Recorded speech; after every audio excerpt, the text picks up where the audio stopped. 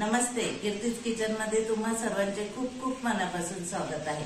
आता मार्च महिना सुरू झालेले आहे आणि उन्हाळी कामांची सर्वीकडे गडबड सुरू झालेली आहे. तर मग आज आपण करणार आहोत उपवासाचे वेपर्स बटाटा वेपर्स अशा प्रकारे मोठे मोठे बटाटे निवडून घ्यायचे म्हणजे वेपर्स पण छान मोठे होतात. मी हे मार्केटमधून आणले आहे. अशा प्रकारे बटाटा छान किसून घ्यायचा आधी धुवून घ्यायचा आणि मग किसून घ्यायचा. किसून झाल्यानंतर मी हे बटाटे इकडे पाण्यात टाकले आहे. एका टिपात पाणी घेतले आणि त्यात सर्व बटाटे ठेवलेले आहेत. हे बघा बटाटे स्वच्छ करून मी ते पाण्यात ठेवलेले आहे. त्यानंतर आपण ते बटाटे एका पाटीत मी पाणी घेतलेलं आहे. आणि त्या पाटीत पाणी घेतल्यानंतर बटाटे सालायच्या आधी किसणी ही ओली करून घ्यायची. किसणीवर अशा प्रकारे पाणी टाकून घ्यायचे. आणि त्यानंतर बटाटा असा किसायचा हे पहा एकदम छान मोठे मोठे वेपर्स येत आहे. असे छान मोठे. आणि थोडे जाड करायचे. जास्त पातळ पण करायचे नाहीत. नाहीतर मग ते तळल्यावर करपून जातात अशा पद्धतीने. थोडे जाड असे छान पद्धतीचे वेपर्स करायचे.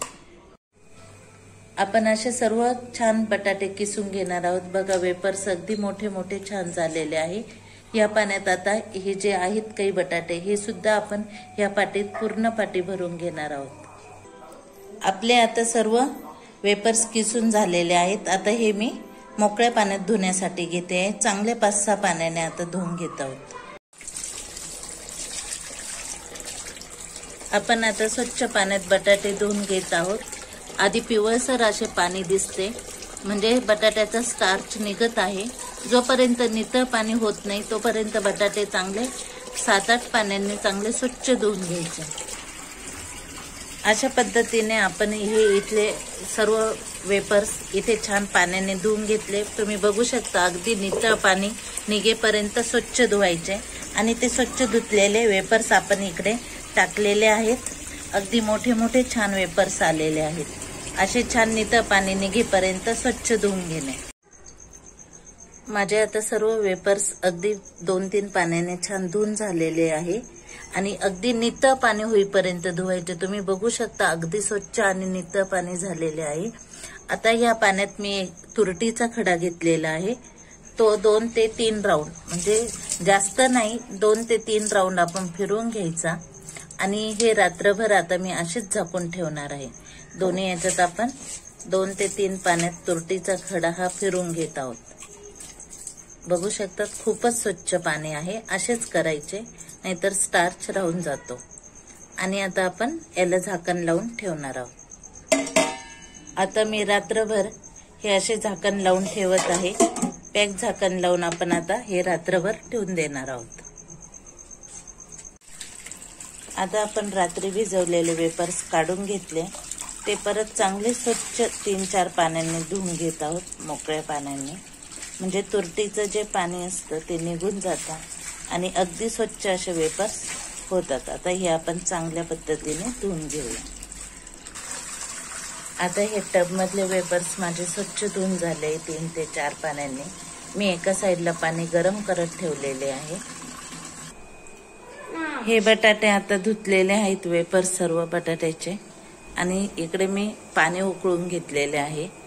त्या पाण्यात आता मीठ टाकून घेत आहे.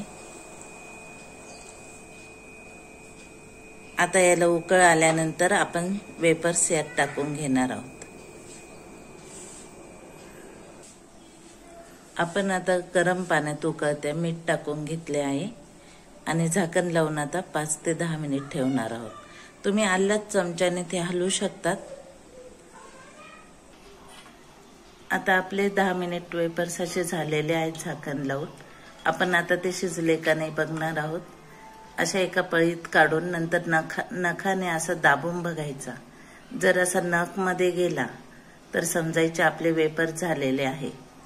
छान पद्धतीने. आता हे झालेले आहे कारण नखाने त्याला छान तुकडा असा पडतो तो. त्यामुळे मी आता हे इकडे असे बाजूला चाणीत काढून घ्यायचे. चाणीत काढल्याने काय होतं त्यातलं पाणी असतं ते सर्व पाणी निघून जातं. आणि आपण आता साडीवर ते किंवा पेपरवर टाकून घेणार आहोत उन्हात. आपण आता एका पाटीत वरती असे गच्चीत वेपर्स आणलेले आहे आणि साडी टाकून घेतली. त्याच्यावर आपण अशा पद्धतीने सर्व वेपर्स पसरून घेतलेले आहे. आता हे आपल्याला दिवसभर उन्हात सुकू द्यायचे आहेत. हे बघा. एकदम मोकळा एकदम मोकळे असे झालेले आहेत. सर्व सेपरेट असे सुकत टाकायचे कडक उन्हात. एक दिवस आपण आता हे चांगले सुकू देणार आहोत आजच्या दिवस उन्हात. मी आता एक दिवसाचे आपले ऊन दाखवून झाले आहे आणि वेपर्स खाली काढून आणले. तुम्ही बघू शकतात अगदी व्हाईट असे मस्त पांढरे शुभ्र वेपर्स आलेले आहेत. आता मी तुम्हाला हे वेपर्स तळून दाखवते. कढईत मी तेल तापवले आहे आणि आता आपण वेपर्स टाकून बघणार आहोत. तेल तापले असेल तर वेपर्स ॲटोमॅटिक छान होईल. हे बघ वाव. एकदम पांढरा शुभ्र लुसलुशीत असे मस्त कडक सर आपले वेपर्स तयार आहे. मी अजून एक दोन वेपर्स तुम्हाला तळून दाखवते. मोठे बटाटे घेतले का? असे छान मोठे मोठे वेपर्स येतात.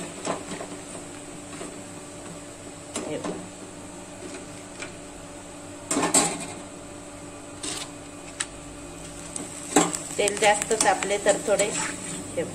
जाड घेतल्यामुळे पटकन वेपर्स आपले छान होतात.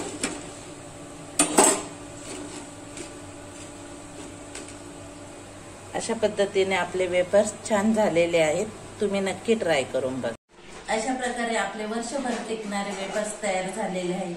तळून तर अगदी मस्त लागतात. आणि वर्ष काय दोन वर्ष सुद्धा टिकतील अशा प्रकारे तुम्ही केलेले जरूर ट्राय करून बघा. आणि माझी ही रेसिपी तुम्हाला आवडली असेल तर माझ्या चॅनेलला नक्की लाईक शेअर आणि सबस्क्राईब करा. Thank you